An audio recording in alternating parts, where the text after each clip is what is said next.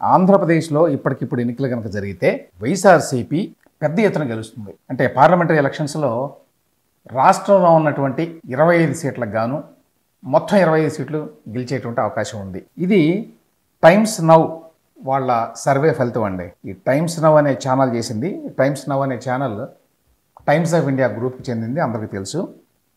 వీళ్ళు తాజాగా చేసినటువంటి ఈ సర్వేని టీవీలో వేశారు. దీని ప్రకారం ఏంటంటే ఆంధ్రప్రదేశ్లో టీడీపీకి ఒక్క సీటు వచ్చేటువంటి అవకాశం ఉంది. వేరాజ్ వైఎస్ఆర్సీపీకి మాత్రం ఇరవై నాలుగు నుంచి ఇరవై ఐదు సీట్లు వచ్చేటువంటి అవకాశం ఉంది. ఇంకెవరికి చోటు లేదు. ఇది వాళ్ళు చెప్తున్నటువంటి విషయం. మొత్తంగా చూసినప్పుడేమో మరి దేశంలో బీజేపీ ఫార్ అహెడ్ ఉంది. వాళ్ళు చెప్పేదాని ప్రకారం రెండు వందల ఎనభై ఐదు నుంచి మూడు వందల ఇరవై ఐదు సీట్లు బీజేపీకి వస్తాయి ఈసారి. ఇరవై ఇరవై నాలుగులో జరగబోయే ఎలక్షన్లలో. కాంగ్రెస్కి ఇంత ముందు కంటే కొంచెం బెటర్ అవుతుంది. నూట పదకొండు నుంచి నూట నలభై తొమ్మిది సీట్లు వచ్చేటువంటి అవకాశం ఉంది. ఇక ఆ తర్వాత టీఎంసీ బీజేడీ బీఆర్ఎస్ ఆప్ ఇట్లాంటి పార్టీలన్నీ ఉన్నాయనుకోండి. ఇక్కడ చెప్ప చెప్పుకోవాల్సిన విషయం ఏంటంటే వీళ్ళ లెక్క ప్రకారం మరి టైమ్స్ నౌ వాళ్ళ సర్వే ప్రకారం అయితే వైఎస్ఆర్సీపీకి ఇరవై నాలుగు నుంచి ఇరవై ఐదు అంటే దాదాపుగా హండ్రెడ్ పర్సెంట్ మొత్తం ఉన్న సీట్లే ఇరవై ఐదు మనకు తెలుసు. ఉన్న సీట్లో మరి ఇరవై నాలుగు నుంచి ఇరవై ఐదు సీట్లు కనుక వస్తే hundred percent sweep number one. Number two ఏంటంటే ఒకవేళ ఈ సర్వే నిజం అనుకుంటే ఇరవై ఇరవై నాలుగులో మొత్తం పార్లమెంట్లో బీజేపీ కాంగ్రెస్ తర్వాత వైఎస్ఆర్సీపీ అతిపెద్ద పార్టీగా అవతరించబోతోంది. వీళ్ళు చెప్పేది కనుక నిజమైతే. ఎందుకంటే మీరు చూస్తే మరి బీజేపీకి రెండు వందల ఎనభై ఐదు నుంచి మూడు వందల ఇరవై ఐదు కాంగ్రెస్ పార్టీకి నూట పదకొండు నుంచి నూట నలభై తొమ్మిది సీట్లు ఆ తర్వాత హయ్యెస్ట్ నెంబర్ ఉన్నది వైఎస్ఆర్సీపీకి ఇరవై నాలుగు నుంచి ఇరవై ఐదు. టీఎంసీ తృణమూల్ కాంగ్రెస్ కూడా ఆ తర్వాత ఉంది. ఇరవై నుంచి ఇరవై రెండు సీట్లు వస్తాయని చెప్తున్నారు. ఇక బీజేడీకి అయితే పన్నెండు నుంచి పద్నాలుగు. బీఆర్ఎస్ చాలా వెనకబడింది. తొమ్మిది నుంచి పదకొండు మాత్రమే వచ్చేటువంటి అవకాశం ఉంది లోక్సభ సీట్లు. ఆప్కి నాలుగు నుంచి ఏడు మాత్రమే వస్తాయి. సమాజ్వాదీ పార్టీకి నాలుగు నుంచి ఎనిమిది మాత్రమే వచ్చే అవకాశం ఉంది. ఇక మిగతా ఇండిపెండెంట్స్ అందరూ చిన్న చిన్న పార్టీలు అందరూ కలిపి పద్దెనిమిది నుంచి ముప్పై ఎనిమిది సీట్లు రావచ్చు అని చెప్తున్నారండి. So two important points. ఒకటి బీజేపీ మరి ఈసారి గెలిచే అవకాశం ఉంది. ఎందుకంటే మీకు గవర్నమెంట్ ఫామ్ చేయడానికి సెంటర్లో పార్లమెంట్లో అంటే లోక్సభ ఎన్నికల్లో రెండు వందల డెబ్భై మూడు సీట్లు రావాలండి.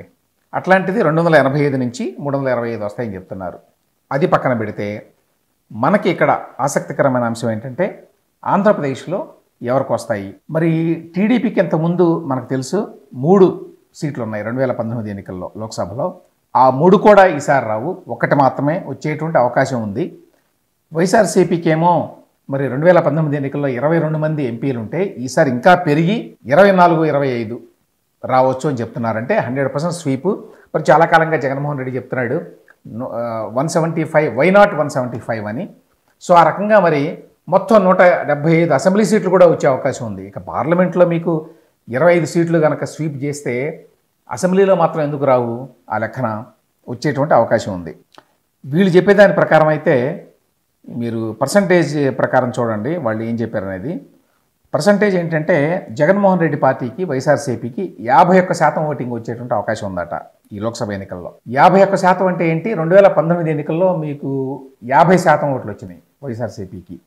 ఈసారి ఇంకా ఒక్క పర్సెంట్ ఎక్కువ పెరిగిందనమాట ఇక చంద్రబాబు నాయుడు టీడీపీకి ముప్పై ఆరు శాతం మాత్రమే వచ్చేటువంటి అవకాశం ఉంది ఓటింగ్. పోయినసారి యాక్చువల్గా ఓడిపోయినప్పటికీ కూడా నలభై శాతం ఓటింగ్ వచ్చింది వాళ్ళకి.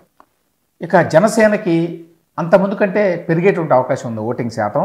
పది శాతం వచ్చేటువంటి అవకాశం ఉంది కానీ ఒక్క సీటు కూడా రాదు. అలాగే టీడీపీకి కూడా ముప్పై ఆరు శాతం ఓటింగ్ వస్తుంది కానీ వస్తే ఒక్క సీటు రావచ్చు లేకపోతే లేదు అది కూడా అని చెప్తున్నారు.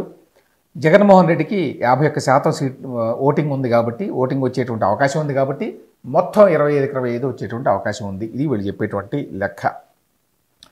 నౌ ఇది ఎంతవరకు మరి మనం నమ్మాలి? ఎంతవరకు వాస్తవం ఉండేటువంటి అవకాశం ఉంది? వెంటనే కొంచెం ఆశ్చర్యం కలుగుతుంది ఎవరికైనా సరే.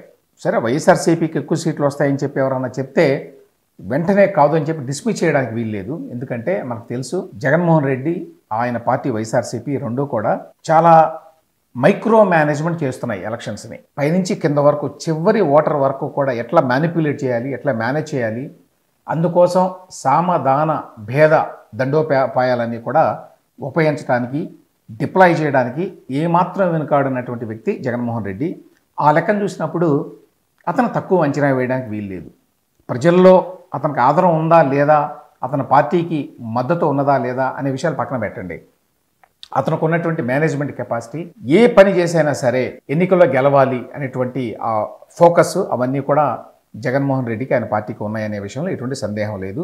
అందులో ఐప్యాక్ను కూడా వినియోగించి ఐప్యాక్తో పాటు తన సొంతంగా పార్టీ వైపు నుంచి కూడా వాళ్ళు ఎంత మైక్రో మేనేజ్మెంట్ చేస్తున్నారో తెలుసు. సో ఆ నేపథ్యంలో ఓకే అందరూ అను అనుకుంటున్నట్టు మరి ప్రతిపక్షాలన్నీ ఏం చెప్తున్నాయి? ఇంకొక సీటు కూడా రాదు ఈసారి ఓడిపోతాడు అని. కాదు అది ప్రాక్టికల్గా ఆలోచించినప్పుడు అతనికి ఎన్నో కొన్ని సీట్లు వస్తాయి.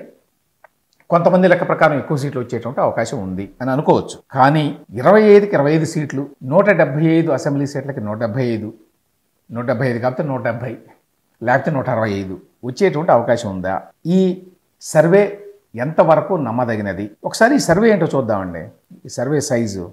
వీళ్ళు చెప్పేదాని ప్రకారం ఈ Times Now survey sample size అంటే వీళ్ళు మాట్లాడింది అనమాట ఎంతమందితో మాట్లాడారు దేశం అంతా అంటే లక్షా ముప్పై ఐదు వేల మందితో మాట్లాడారట. భారతదేశ జనాభా నూట ముప్పై ఐదు కోట్ల కంటే ఎక్కువ.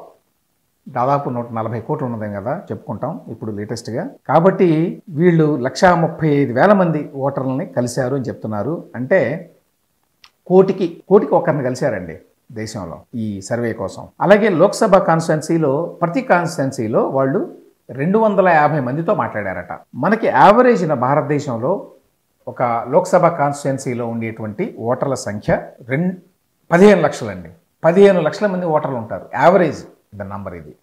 సో పదిహేను లక్షల మంది ఓటర్లు ఉంటే మరి వీళ్ళేమో తీసుకున్న సైజ్ ఏంటంటే రెండు వందల యాభై మంది. ఇది ఏప్రిల్ ఇరవై రెండు మే పదిహేను మధ్యకాలంలో చేశారట ఈ సర్వే.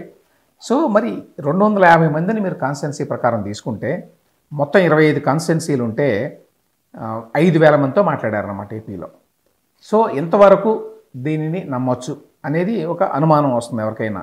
ఇంత తక్కువ ఎంత సైంటిఫిక్గా చేసినా కూడా ఇంత తక్కువ శాంపుల్ సైజులో మరి నిజమైనటువంటి రిజల్ట్ని రాబట్టడం సాధ్యమేనా అనేది మనకి వచ్చేటువంటి అనుమానం. ఇక నెక్స్ట్ ఏంటంటే వీళ్ళు ఇచ్చిన ఫిగర్స్ ఒకసారి చూస్తేనండి వీళ్ళు ఎంత కేర్ఫుల్గా చేశారు అనేది అనుమానం వస్తుంది.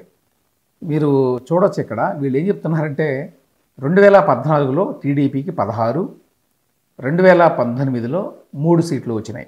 ఇప్పుడేమో ఇరవై ఇరవై నాలుగులో ఒకటే రావచ్చు అని చెప్పి ఇచ్చారు వైఎస్ఆర్ కాంగ్రెస్ పార్టీకి రెండు వేల పద్నాలుగులో ఏమీ రాలేదు. రెండు వేల పంతొమ్మిదిలో ఇరవై రెండు వచ్చినాయని చెప్పి ఇచ్చారు అక్కడే పెద్ద తప్పు. ఎందుకంటే అందరికీ తెలుసు రెండు వేల పద్నాలుగులో వైఎస్ఆర్ కాంగ్రెస్ పార్టీకి తొమ్మిది సీట్లు వచ్చినాయి.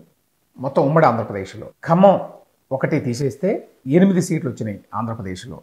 మరి అట్లాంటిది వీళ్ళు వైఎస్ఆర్ కాంగ్రెస్ పార్టీకి రెండు వేల పద్నాలుగులో ఏమీ రాలేదు అని చెప్పి ఇక్కడ ఫిగర్ ఏమీ ఇవ్వకపోవడం అనేది అది చూస్తే వీళ్ళు ఏదో పెద్ద తప్పు చేసినట్టుగా కనిపిస్తోంది. తర్వాత వీళ్ళు ఏపీ గురించి మాట్లాడినప్పుడు ఏపీ సీట్లు ఇవ్వచ్చు ఇక్కడ రెండు వేల పద్నాలుగులో అట్లా ఇవ్వలేదు. ఎందుకంటే టీడీపీకి యాక్చువల్గా ఇప్పటి ఆంధ్రప్రదేశ్లో తీసుకుంటే అప్పుడు వచ్చినటువంటి సీట్లు పదిహేను ఎంపీ సీట్లు వైఎస్ఆర్ కాంగ్రెస్ పార్టీకి ఎనిమిది బీజేపీకి రెండు. అప్పుడు వచ్చినవి. అవి ఇవ్వకుండా వీళ్ళు ఉమ్మడి ఆంధ్రప్రదేశ్ నంబర్స్ ఇచ్చారు. ఒకటి. రెండవది వైఎస్ఆర్ కాంగ్రెస్ పార్టీకి మీరు ఉమ్మడి ఆంధ్రప్రదేశ్ తీసుకున్నా కూడా తొమ్మిది ఉండాలి నంబర్ అది. మరి తొమ్మిది లేదు. అంటే ఎంత కేర్ఫుల్గా చేశారు అనేది మనకి వచ్చేటువంటి న్యాచురల్లీ అనుమానం అది. ఇరవై ఇరవై నాలుగులో లోక్సభలో ఇరవై నాలుగు నుంచి ఇరవై ఐదు వస్తాయి అని చెప్పి అనేటువంటి ఈ ఫిగరు వాస్తవాలకి అంత దగ్గరగా లేదు అనేటువంటి భావం వైఎస్ఆర్సీపీ మద్దతుదారులు కూడా వస్తుందండి.